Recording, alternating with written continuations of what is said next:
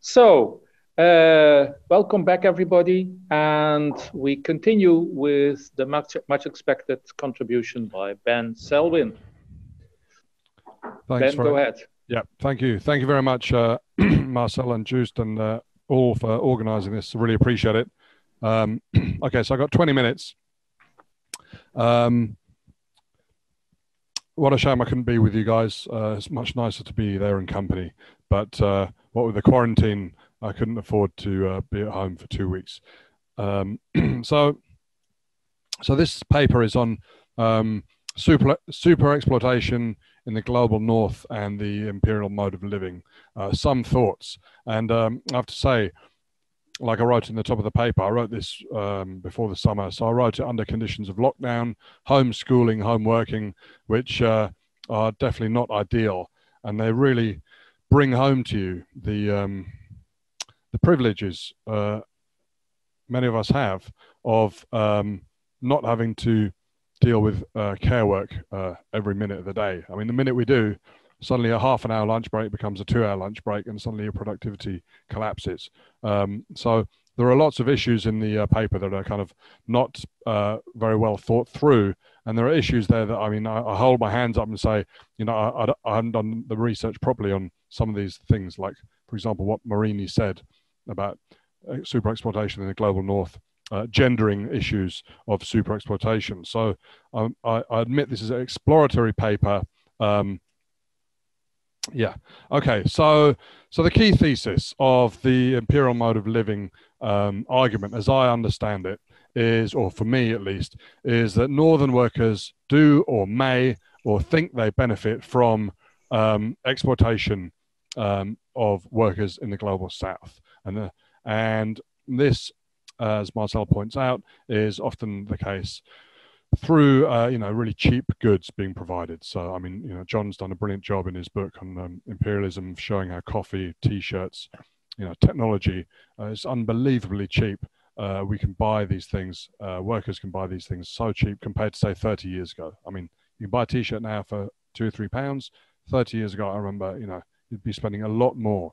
Um, so uh, the super exploitation concept is key.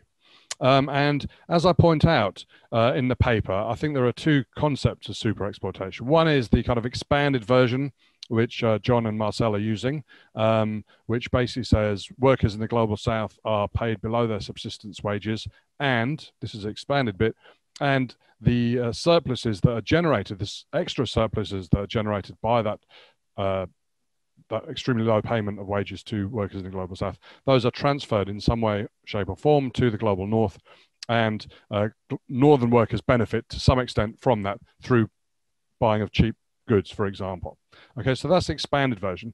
But you know, John Bellamy Foster, in a very good article in Monthly Review, also points out that there's a more restricted version um, of super exploitation, which is just to say, just to say, you know, workers being paid below subsistence, their subsistence their subsistence requirements, which you know you have to define. And I'll come on to that later, hopefully.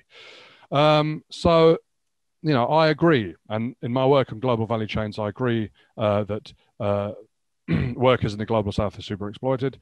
I agree that these are the huge processes of value capture by northern lead firms, northern transnational corporations. Um, so that takes place.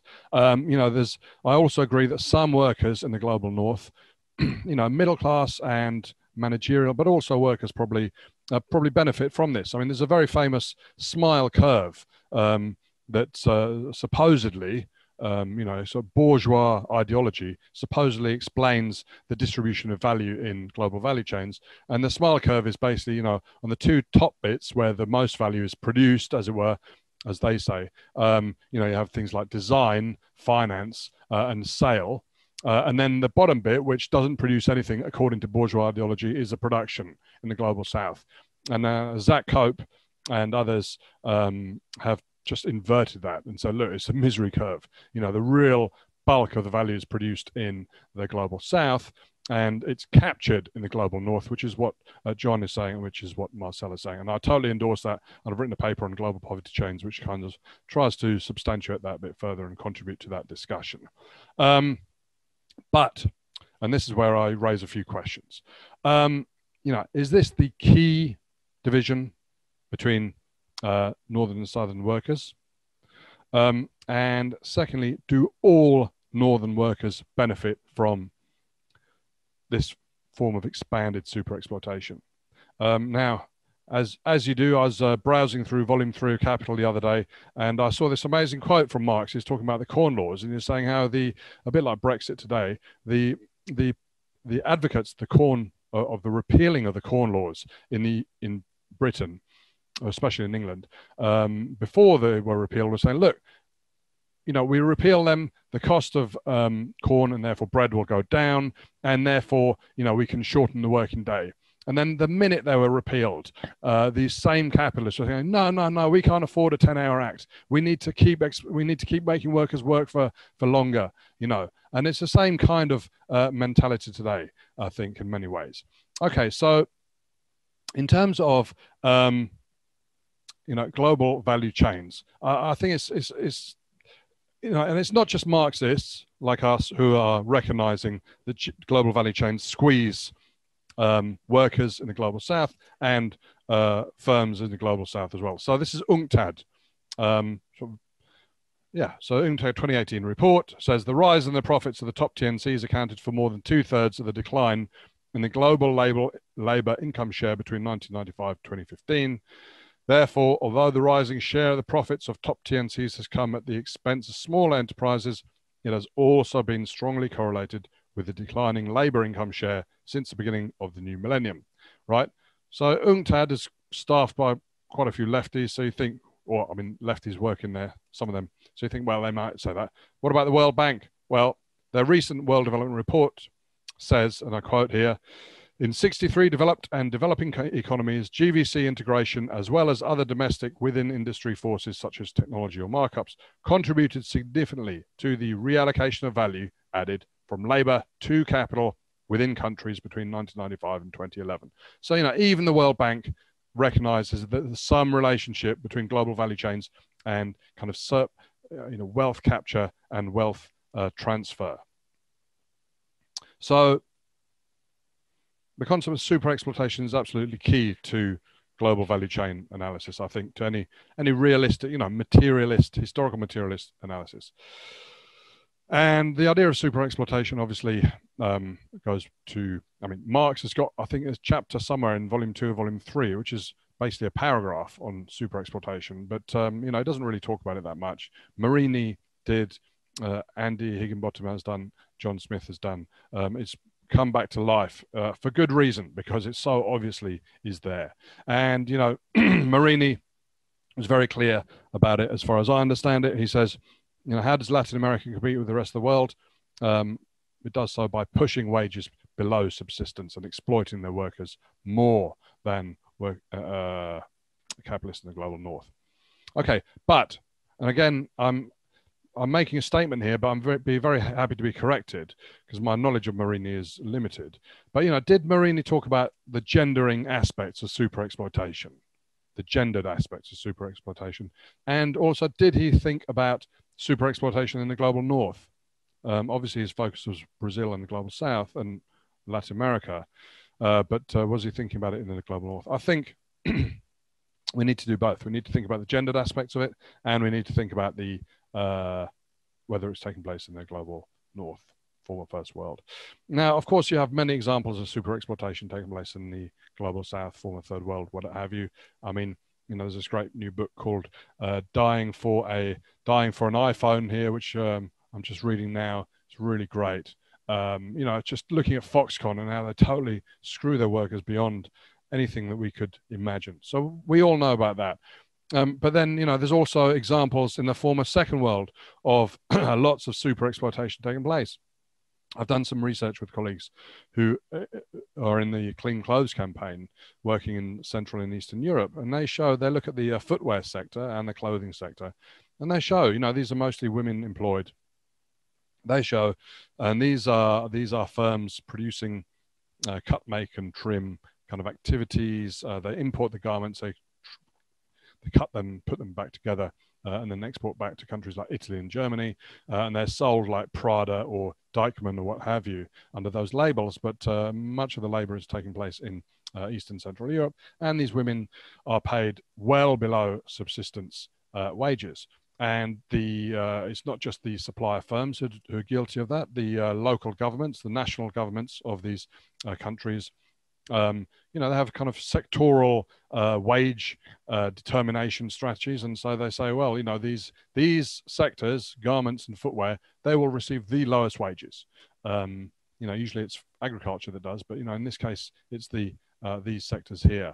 Um, you know, the um, EU, when it expanded into uh, Eastern Europe as well, it says, you know, it, it cut quite a few of its uh, uh requirements about kind of welfare and pay um, levels uh, that were that accrued to Western European workers uh, in order to incorporate Eastern Europe as a kind of peripheral zone to kind of, you know, from so Eastern Europe went from being a periphery of the former USSR to being a periphery of the EU.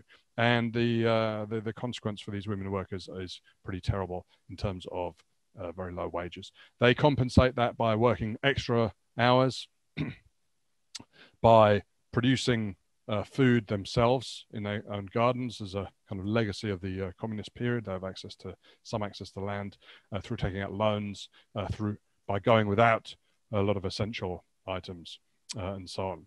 Um, okay, so you got you got exp- super exploitation taking place in the former Second World, but the point of my paper I wanted to make is that uh, you know you have a I think you've got an expansion of super exploitation in the more limited sense taking place in the first world, in the global core, in the uh, imperial center.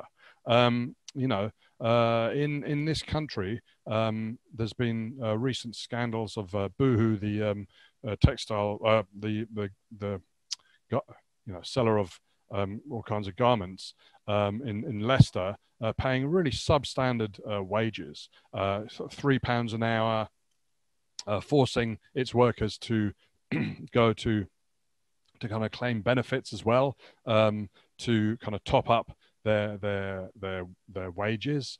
Um, you know, not declaring wages, uh, using uh, migrant workers uh, from places like Bangladesh, Pakistan, Eastern Europe, using these workers, uh, more the most vulnerable migrant workers, to ensure they've got these uh, kind of uh, labor pools, highly exploitable labor pools, um, you know, cramming together in uh, substandard uh, accommodation in factories that you know really close together. And you know, during the COVID crisis, uh, you know, is one of the reasons the scandal broke was not just the low pay, but because uh, there was a spike in COVID cases in Leicester.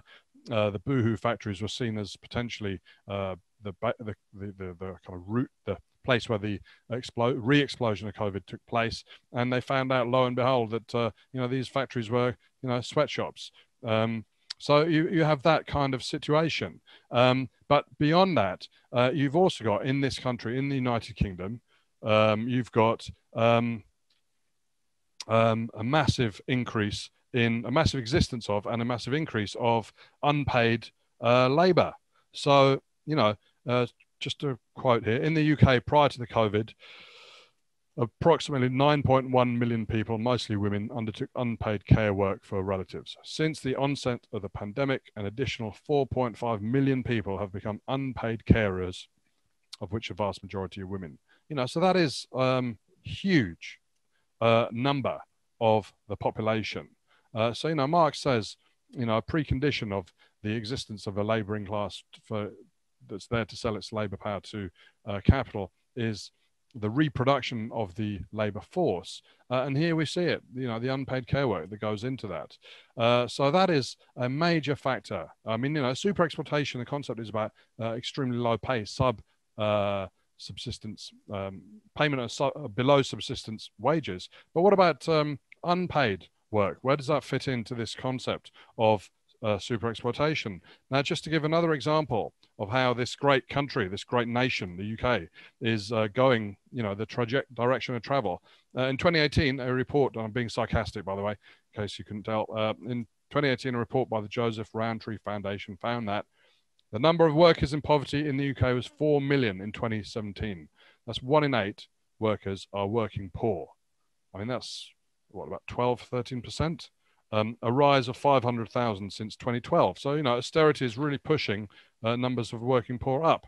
Uh, 4.1 million children lived in poverty in the UK So, you know, out of a classroom of 30, that's nine children living in poverty.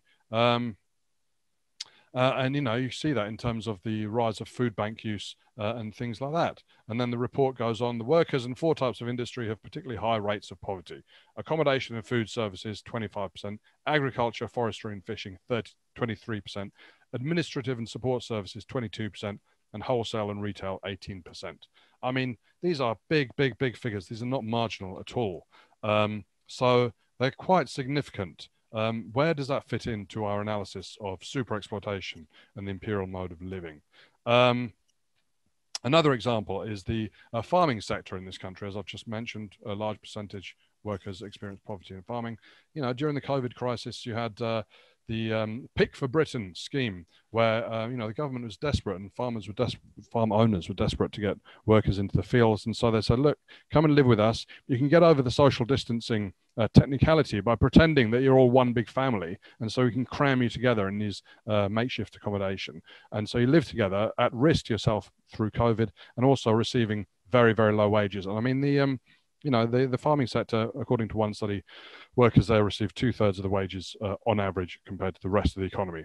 However, you calculate that, uh, and people know about that. And then, you know, I give more examples in there about um, uh, kind of uh, all kinds of uh, terrible practices, you know, uh, big deductions for accommodation made by the owners of the accommodation, owners of the farms. And then, of course, in, in, in services, you got the proliferation of Uber Eats, uh, Deliveroo, you know, this kind of um, online uh, kind of based uh, delivery systems. Uh, you know, these are workers being paid piece rates, waiting around. Um, so you know they, you know, they could earn uh, above a uh, subsistence wage during the day, uh, but often they suffer from underemployment and that they're waiting around and they're not actually getting paid for the time they're waiting around. So where does that fit in to our conception of uh, super exploitation? Um, okay, so they, they're just some examples. Um, not at all meant to dismiss the IMOL conception, just to, uh, you know, create some friction and some uh, more areas for, for investigation, perhaps. Um, so just in terms of a few uh, areas to think about in terms of um, what we can investigate, what we can research and this kind of stuff from this uh, IMOL perspective is, you know, we can look at um, documenting cases of super exploitation across the global north. Um, you know, and then we can ask questions like, you know, how do these cases interact with uh, dynamics of unpaid care work? Um, another way of looking at it is how do the process of super exploitation in the global north, how do they articulate with super exploitation on a world scale? Um, I'm not saying workers in the global north are more exploited or there's more super exploitation in the global north than the global south. No, I mean the global south is where the bulk of super exploited exploited workers are. But what is the relationship between them? My feeling is that uh, globalization has uh, generated intense competition, uh, cost competition between workers in the global north and the global south, uh, to the effect that uh, wages in the global north are falling because you have workers in competition with garment. You know, everyone knows about the Bangladesh Rana Plaza disaster, but then you've also got the uh, fast fashion based kind of boohoo firms in Leicester who are you know, a different a business model in a way, much faster turnaround delivery to the lead firm kind of processes, but also they're in competition with those workers in a place like Bangladesh. Um, okay, then some other questions which I got. Um, you know, this is a methodological question. You know, how conscious do we think northern workers are of these dynamics of relational inequality? Uh, what role does this play in their political formation outlook, and what kind of research methods would we need to demonstrate these phenomena and their interconnections? Uh, does it matter if northern workers are only par- partially or not at all conscious of the benefits from relational inequality? Uh, to what extent are northern workers uh, variegated or differentiated into groups who benefit more, less, or not at all from relational inequalities? Uh, you know, so do northern workers actually are northern work uh, is the northern labouring class uh, subject to relational inequality of itself? So you know, in the Boohoo case, uh, they produce dresses which you can buy for four pounds. Okay, so obviously, you know, if you're a very poor worker earning very low wages, you're going to go and buy cheap stuff what is that in terms of uh, relational inequality? Um, these are all kinds of questions uh, that uh, I think we can ask, and I'm hoping that would contribute to uh, the uh, IMOL um, perspective. Um, and um, that that's my contribution really. Uh, more kind of um, some some thoughts rather than a fully worked out thesis there. So I'll leave it there. Thanks very much. Ben, th thanks a lot uh, for uh, a wonderful paper, very good paper, interesting, detailed paper, which uh, you've written, which also gives um, a, lot of reason to think about some of these issues. I want to start by thanking Marcel and uh, uh, the crew for organizing this uh, important workshop or conference and also including me. And it's a pity that we have to meet in this mode because I'm not very technically uh, savvy uh, about these issues. Now, my uh, reading uh, or comments on uh, uh, Ben's work, uh, what I did is to ensure that I do not give a critique, but try to raise as many uh, questions as possible because I respect um, authors when they put so much energy uh, in producing work like this. But the central issue normally is uh, the unit of analysis where we start, whether we start with the whole or the parts. And normally, if you start with the parts, like uh, value chain, or you start with uh, super exploitation, there's a tendency for people to add or question other parts, which uh, you do not include. And that is not my approach. I think those who write these papers uh, want to give a certain point and therefore have to remain focused.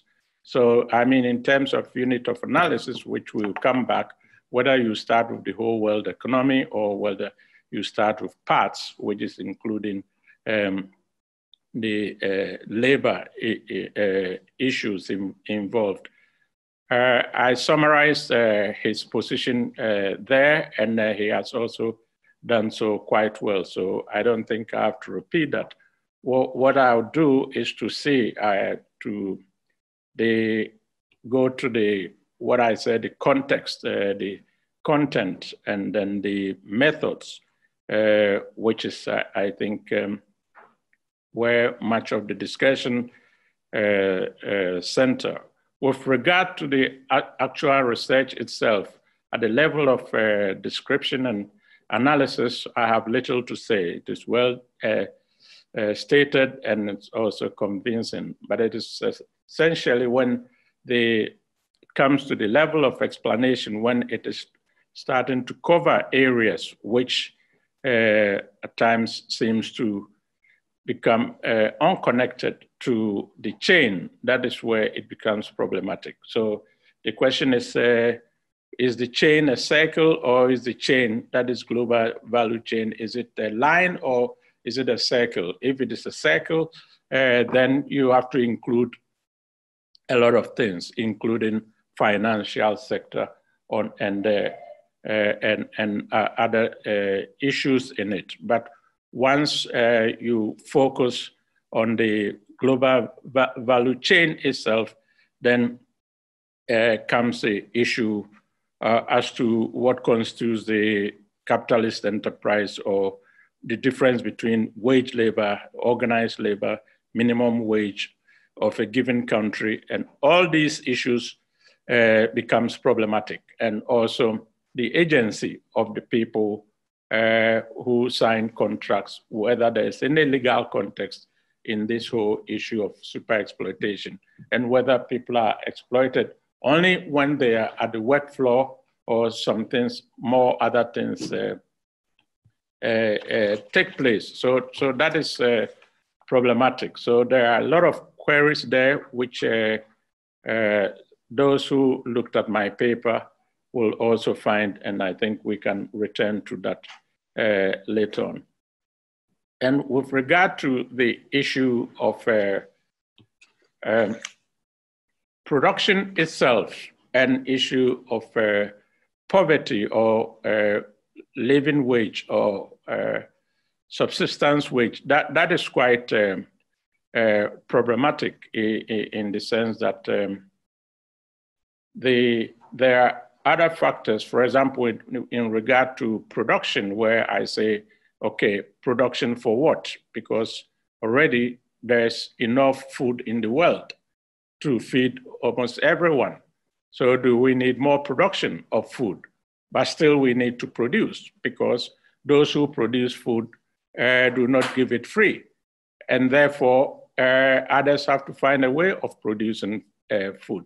Then comes the question whether the solution to the answer, uh, questions we are posing, the answers to the question lie in the north or lie in the south. If we talk in terms of global north or south, take food production.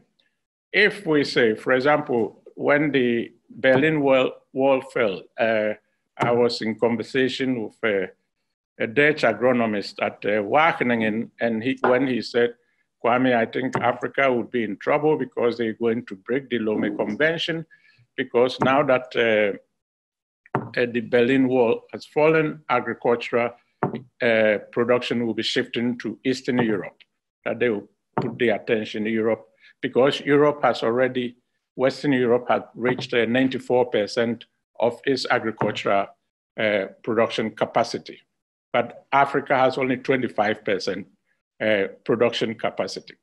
Now, what am I talking here about? So if Africa increases its food production by 100% to go to, let's say, uh, 50% of its production capacity, which means that many farms have to collapse in Europe and in the, in the United States, where agriculture is being subsidized. So if we're going to deal with the ecological crisis where they are telling farmers to produce less, if Africa, where the hunger is, poverty is, if they increase their production, it will also affect global uh, relations, labor and, and, uh, and also food production and all those. It means that the Africans will also be able to feed themselves and there will not be dumping of food stuff from Europe or European Union to those countries. That means if you go into the discussions at this level, it means you have to bring other factors in. But we have to focus on the super exploitation. So these are some things that come to mind, but which I could not, I would not use as critique. But I think these are issues we should also take into account. Also, the notion of capitalists and the, uh, those who uh, invest in all these projects. We also have to uh, take into account how capital itself circulates uh, around the world, stock exchange and all this. Whom do these monies belong to actually? Because the farmer or even the person who is setting up a factory uh, in Leicester, that person has to borrow money from the bank. And the bank also has to borrow money from somewhere. So maybe if Saudi Arabia produces its oil and leaves it to the Western banks, then people can use the money as if it is their own money.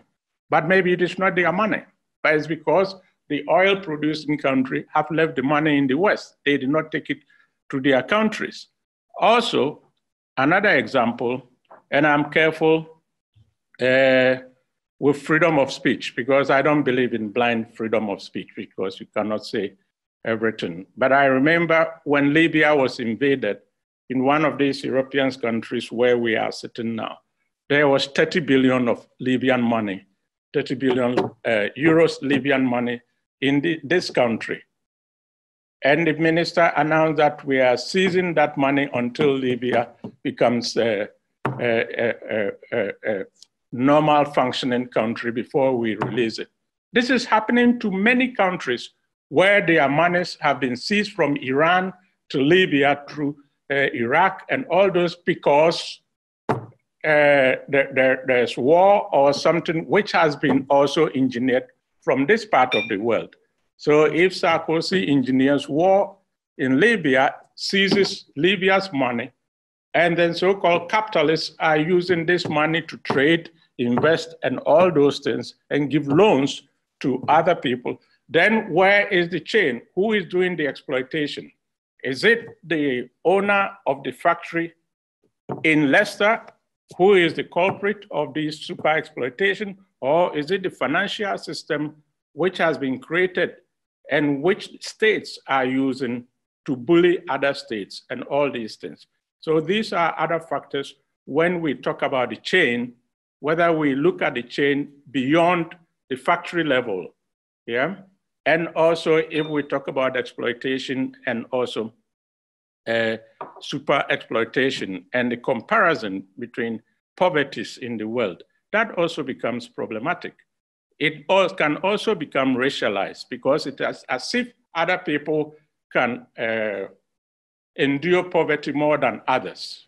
Yeah, because the question is, are certain regions in the world supposed to be more poor than others? And that if you don't uh, earn enough in this part of the world, it should be a scandal because there is supposed to be no poverty here, but poverty can be some, somewhere there. I give you an example. During Thatcher's, Margaret Thatcher's period in, in Britain, when in the uh, uh, in the Montserrat, there was this volcano and the uh, Windward Islands, uh, there was this crisis and they requested money uh, from the British government because Britain subsidizes those islands about 400 pounds per year per head, but they subsidize Falkland Island 2,000 pounds per year. So this guy from the Caribbean Association went to negotiate uh, with the government to increase the subsidy for the Windward Islands. What he told him was that what the minister told him is that, you know, you cannot compare Falkland with Windward Island because Black people can accept poverty better than the white people. Yeah. So he said, Is that what you are saying? Okay, Tomorrow, you should read the Times. I'm going to the Times to tell them right away that this is what you have told me. Yeah? He left the office, and then by the time he got to the, his office, the minister was calling for him. When he got to the office, the people said, What have you done? The minister is calling for you. Have you done something wrong? He said, No, I told him this. He picked the phone, and the minister said, I've increased it by 500 pounds. So come and collect. It. Yeah, so this issue of super exploitation, poverty, and all those things are also uh, racialized in the sense that should Northerners be uh, uh, less uh, poverty prone than others, or should there be a kind of equalization of poverty as time goes on? I mean, so I, I have to come finally to the issue of periodization, which is also the methodological side because as you read along, you realize that one, one minute. So okay, brief, you, you, realize. Thanks, Marcel. You realize that the concepts are being used, maybe have been used by other authors, different contexts, and all these things. So these all these things uh, ring bell. Bell. For example, I read and I say, oh, but is it not what uh, uh, Fröbel and uh, uh, Otto Kreye were talking about? back in the 70s about new international division of labor. Are we not in the same mold here also? Because uh, uh Wallerstein, or uh, Gereffi makes reference to Wallerstein uh, on the value chain and all those things, but these are not made references in this paper uh, and others as if uh, nothing has come before. So the question is, how far in history do we go in discussing the issues at hand? I rest my case. Yeah. Thank you, uh, Kwame. Um, yes, so now we can start with the discussion and we already have two people who would like to say something. Well, one is Luisa Monteiro from Brazil. She doesn't want to pose the question herself, but Herman will impersonate her and read her question. And the next one then will be Andy Higginbottom. Yeah. Uh, the question was put in a question and answer. Um, Viral, thanks for your ideas and for the event organization. As a Brazilian, here my question. What role can original populations, indigenous people, play in a world world class struggle? As they are living and want to keep their traditional way of living, but also acquiring at the same time contribution from the capitalist world, such as the institution school, healthcare for unknown diseases, iron tools, and airplanes to transport sick people. Capitalism makes a movement to destroy them and or to make them urban unskilled workers because there is need of land and minerals for capitalist development. How to perceive their struggle in addition to a humanitarian approach. Okay. And now we should give the floor to uh, Andy Higginbottom. Mm-hmm. Now I can see if I can do that.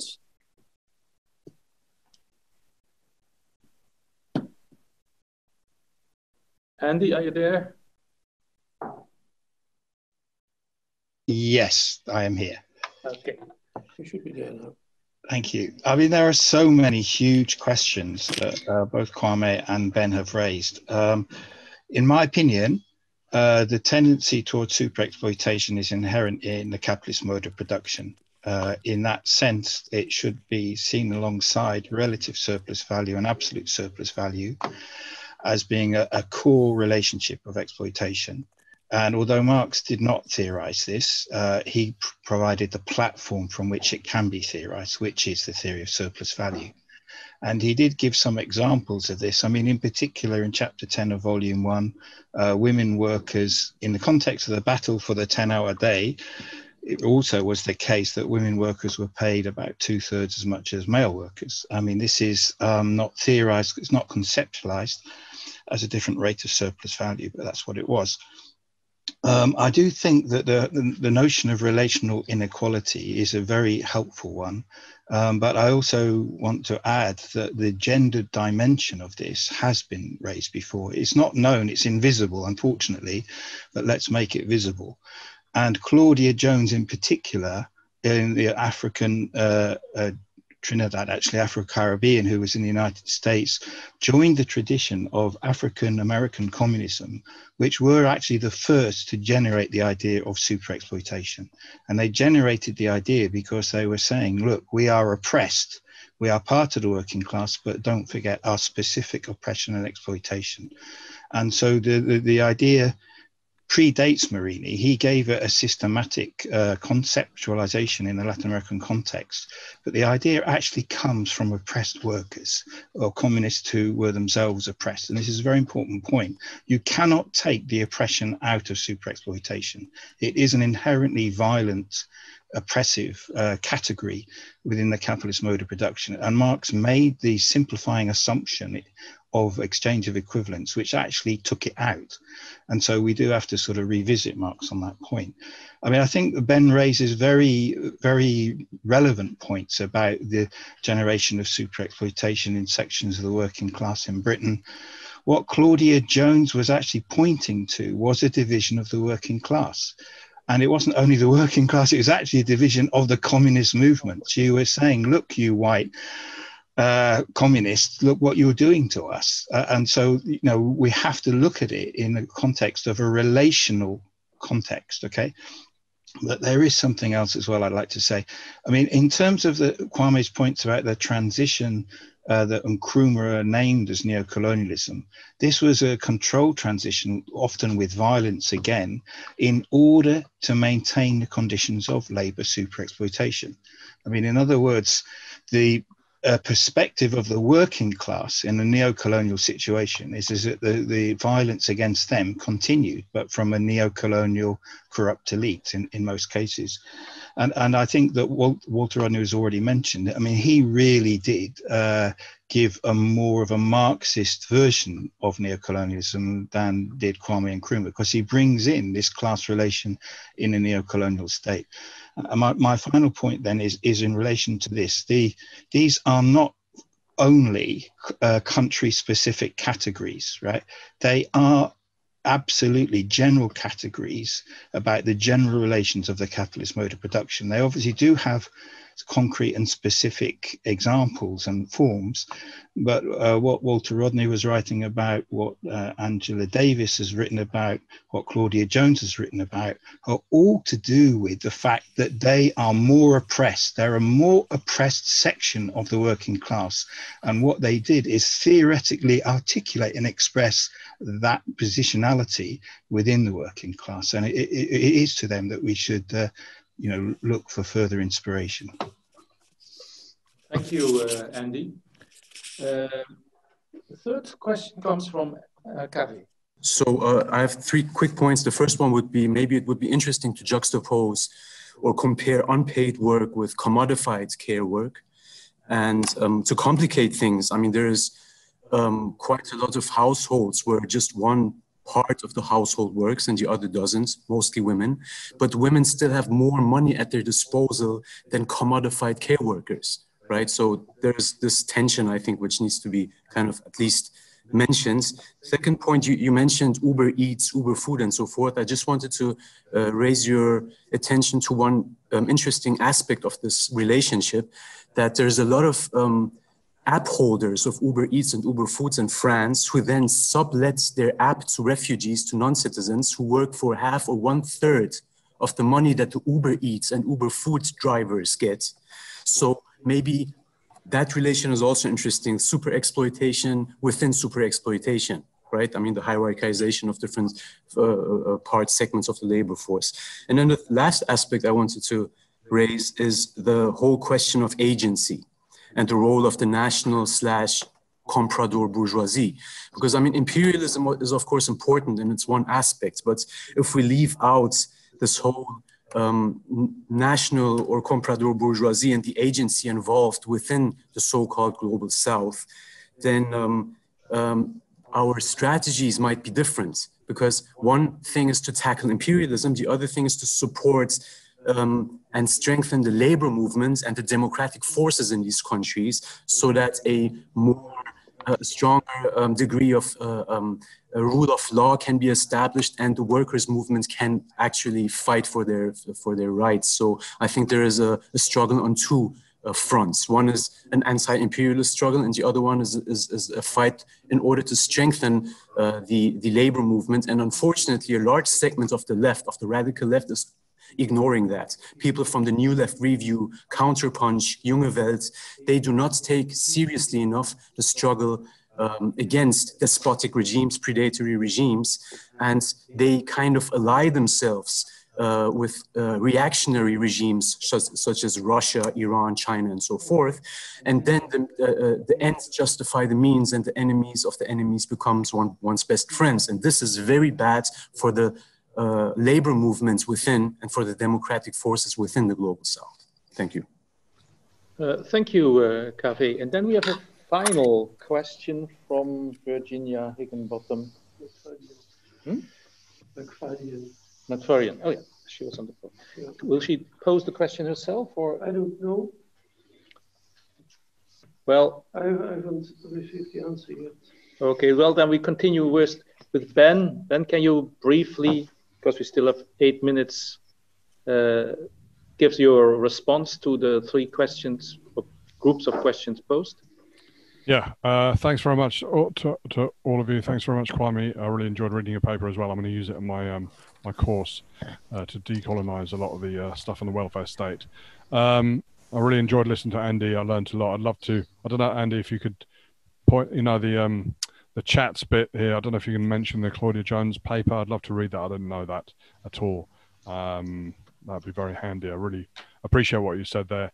Um, so, in terms of what uh, Kwame said about uh, racializing poverty, absolutely. I mean, in, in my book, The Struggle for Development, I've got uh, half a chapter where I talk about the dollar a day poverty line formulated by the World Bank. And I said, you know, this is the new Orientalism uh, in the Said sense. You know, the northern working classes have relational poverty, or relative poverty, relative poverty, and the uh, the workers in the global south have the kind of dollar a day, which is is not a dollar a day. It's it's it's inadequate to even consider. It's not even not enough to buy food. It's inadequate to consider how much is necessary to survive on. It's a completely useless uh, level of uh, poverty analysis. Even if you put it up to five or ten dollars a day, it's still totally um, uh, unfit for purpose. So I totally take your point about the racialization of poverty, blaming the victims, and so on. Absolutely, that's part of the imperial mode, imperial mode of analysis. In terms of pluralization, you mentioned New International Division of Labour, Wallerstein, Gereffi in the 90s, and so on. Yeah, I mean, I'm trying to. I mean, what's happened with the GVC, a global value chain approach, is that it's become progressively uh, mainstreamed from something from a Marxist kind of world, world systems theory, commodity chain analysis to right up to now, the World Bank is using it as a 100% pro-developmental, pro-capitalist way of thinking. So you know the so I'm battling against the kind of most recent versions of it, uh, but also at the same time trying to bring in aspects that perhaps Wallerstein didn't uh, consider uh, as well, or, or, in the same way that I would like to consider. Uh, Luisa Monteiro talked about indigenous populations. You know, I mean, again, in my struggle for development, I do talk about how the um, uh, how our kind of progressive, radical parties uh, must take on the question of not just protecting indigenous populations, but actually learning from indigenous populations. I mean, this is one of the things about the imperial mode of living uh, argument that uh, we have uh, in, internalized so many of the kind of hegemonic ideas about capitalism, growth, um, what have you, division between North and South, etc. Um, actually, one of the ways to break out of that is through solidarity, and one of the ways to break out of that is through learning from people who we have not uh, really been in contact with previously. So, indigenous populations, uh, especially, uh, are very important. Um, I really like uh, Kaveh's point um, I think the question about Uber Eats is, uh, I didn't know about that. That's uh, shocking, but not surprising. And I totally agree with your point about the comprador bourgeoisie. I mean, you know, I overemphasize the role of the international institutions uh, and, and, transnational corporations in creating these kind of uh, labor regimes. But of course, you know, the Chinese state, massive uh, com- uh, con- contributor to contemporary globalization with, you know, two, three hundred million fold, strong laboring class on the the, the, the seaboard uh, of China, and, and, and similarly with other um, states, uh, Bangladeshi, Vietnamese, Cambodian, etc. Um, so they're absolutely part of the picture in my analysis, um, and I totally agree with you. Uh, you can't leave them out, otherwise, yeah, you've got a completely biased approach to uh, kind of capitalism. But um, thanks very much. Yeah, I'll leave it there. No, I just wanted to know what the uh, proponent proponents of the IMOL perspective thought of my arguments about um, kind of more nuanced kind of class differentiation approach to the prevalence of the IMOL yeah. mentality okay. within the global north and that kind of and the methodological points. I don't know if that if that was useful or I'm completely going off the rails, whatever. I found it useful, but now Uli will say whether he also found it useful. And very briefly, Uli, please. Yeah, I Six was not words. sure. Sorry? Six words. Yes. Seven is also.